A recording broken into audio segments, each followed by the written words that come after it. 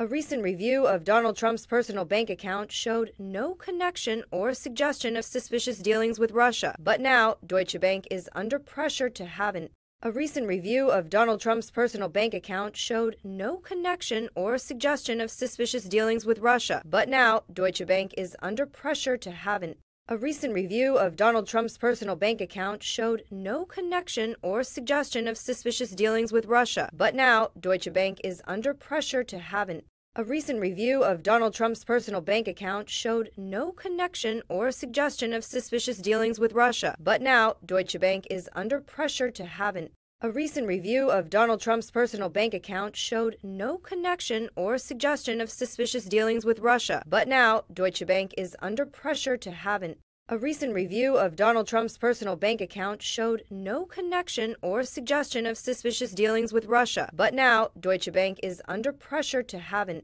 a recent review of Donald Trump's personal bank account showed no connection or suggestion of suspicious